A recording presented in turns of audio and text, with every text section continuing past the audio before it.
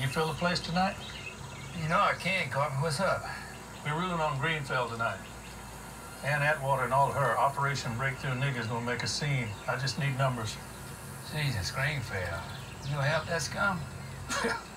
you know CP. Re-election here. He got deep pockets. I need to at least appear supportive.